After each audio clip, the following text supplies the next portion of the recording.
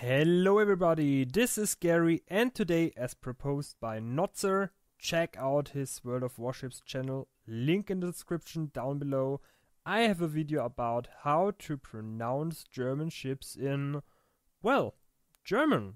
And for everybody who just wants to hear the names, click on the annotation and skip the whole where did the ships get their names from part. So let's get started. At tier 1 is the Hermelin. And as most modern German military vehicles are named after animals, this one is too. Hermelin is German for ermine. So let's say it once more Hermelin. Yeah, that was easy, wasn't it? On to the next one. At tier 2, that would be the Dresden, named after the capital of Saxony. Had a sister ship called Emden. Most of you know that chip as a premium given out at Christmas. So, let's repeat those two Dresden and Emden. On to tier 3, also named after a, although today Polish city, there's the Kolberg. Let's also repeat this Kolberg. Yeah, I pronounce it slow. Let, let's get a bit faster. Kolberg. Okay, that's the right pronunciation. On to tier 4. And at tier 4, we have the, well, to be honest, very underwhelming Karlsruhe, named after the old capital of the state of Baden. So, let's repeat it once again Karlsruhe. Yeah, I think you will get the hang of it very quickly. On to the next one. At tier 5, that would be the Königsberg, named after the old capital of Prussia. Wait, you, you can't pronounce it? Okay, don't worry, that's what I'm here for. Let's say it once again. Königsberg. Let's start with the syllable Kö. I know it's hard, but just imagine you want to say the Ö from the band Motorhead.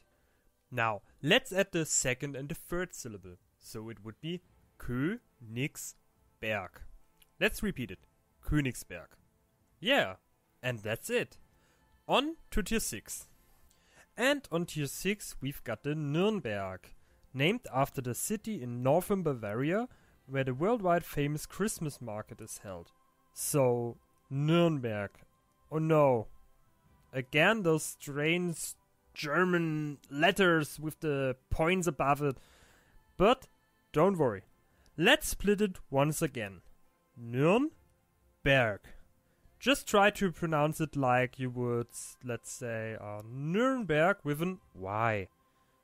So, let's put those two syllables together. Nürnberg. I think you get the basic idea. So, on to tier 7. The Yorck. You might be thinking, haha, a German ship is named after a British city. Yeah, well, not exactly. It's named after Ludwig Yorck von Wartenburg, a Prussian field marshal. So, well, it's easy. Just repeat it. Yorck. Okay. And on to tier 8. The Admiral Hipper. It is named after. Yeah, Ad- Admiral Hipper. you, you thought I would say something fancy like the founder of the German Republic and war hero. No, it's just named after Admiral Ludwig Hipper, a World War One admiral commanding the German fleet. Also at tier 8, we've got the mighty Tirpitz, named after Alfred Peter Friedrich von Tirpitz, a German great admiral. It's basically the same in English, so let's move on to tier 9. At tier 9, we've got the Roon, named after Albrecht von Roon, a Prussian field marshal and assistant of Otto von Bismarck. So, let's repeat it. Roon. The double O's are stretched. So, it's not Rune or Rhone, but Roon. Okay, and let's get to the last one. At tier 10, we've got the Hindenburg. It's not named after the famous Zeppelin, it's named after Paul von Hindenburg. And yes, to be fair, the Zeppelin was named after him as well. So, Paul von Hindenburg was the famous first chancellor of Germany, and thus the Hindenburg is named after him. So, let's say it once again Hindenburg.